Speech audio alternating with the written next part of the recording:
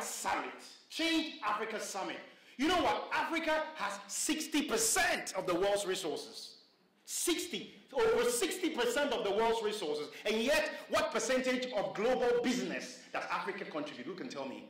60% of the gold, the diamond, the oil, the uranium in the world. What percentage of business do we, do we control? Who can tell me?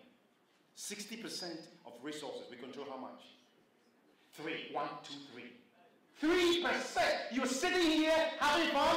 You were in Ghana Chile. I don't want to say you are sick. But if you live with 60% of the resources of the world, and yet you control only 3% of the money, say money, money. and the businesses, you have a big problem. A huge problem that you cannot sleep.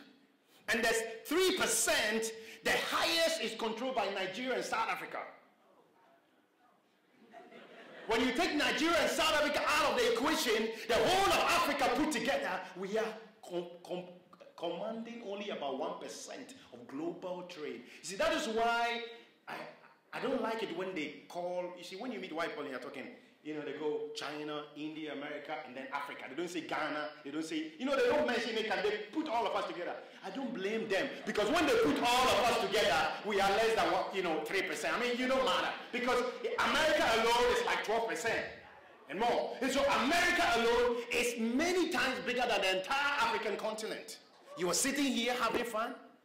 You're sitting in your dormitory chilling, watching movies, playing on social media. The world is moving at a rate.